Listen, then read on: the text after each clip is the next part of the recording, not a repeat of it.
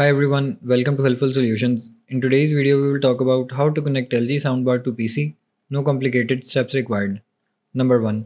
Using HDMI, best option. Connect an HDMI cable from your PC's HDMI output to the HDMI input on your soundbar. Ensure your soundbar is set to the correct HDMI input mode. On your PC, right-click the sound icon in the taskbar, select playback devices, and choose your soundbar as the default audio device. Number 2. Using optical cable. Connect an optical cable from your PC's optical output to the optical input on your soundbar.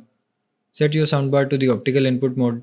On your PC, navigate to Control Panel, Sound, select your soundbar and select it as the default playback device. Number 3. Using Bluetooth. Enable Bluetooth on both your PC and soundbar. On your PC, go to Settings, Devices, Bluetooth and other devices and select your soundbar from the list. Set your soundbar as the default audio device in your PC's sound setting.